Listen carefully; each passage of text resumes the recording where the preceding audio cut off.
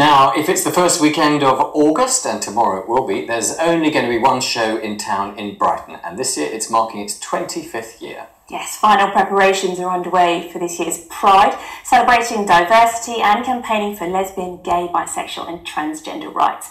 And as Ellie Crisell explains, one senior resident is having an extra special celebration.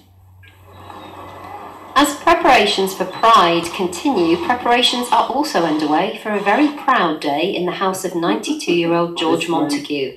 The self proclaimed oldest gay in the village is tying the knot, converting his civil partnership with long term partner Somchai into a marriage today at Brighton Town Hall. George didn't go public with his sexuality until he was 59, but the father of three and grandfather has no regrets. There's nobody luckier or happier or living, lived as long as I have so happy. I had a wonderful woman uh, who helped me live a life for so many years, which you had to do in those days. And gay people today have never had it so good. Let's take advantage of it, find someone you can live with, and pair up and settle down together. And what better time to make it official than as the 25th Pride is about to get underway? It started with a picnic in Preston Park and has now grown into an internationally renowned celebration and leading light on LGBT rights.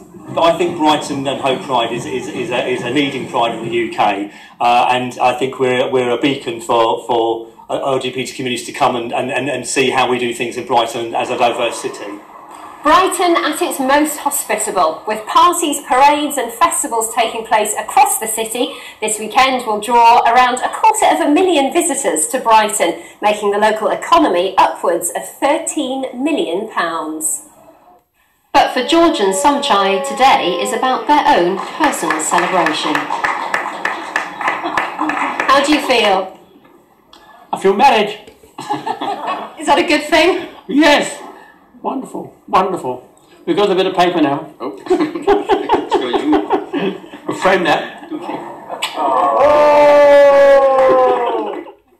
Well, one very happy couple there. And Ellie joins us now from Brighton. Ellie, how are preparations going for Pride tomorrow?